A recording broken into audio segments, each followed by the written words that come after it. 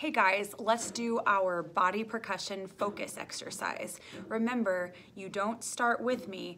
I'll be one move ahead of you. So while I move on to the next move, you're doing the first move, okay? Let's try it. Wait, wait, ready, go.